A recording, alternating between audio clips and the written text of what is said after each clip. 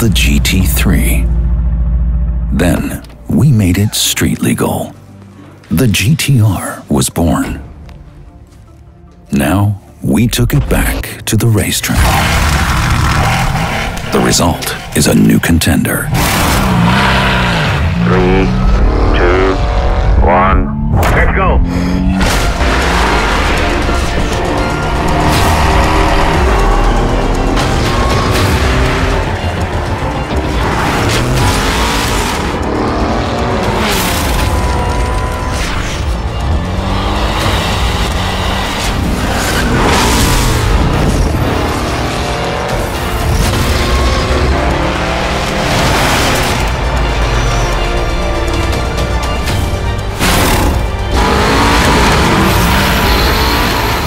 Lap records. Come back in the box.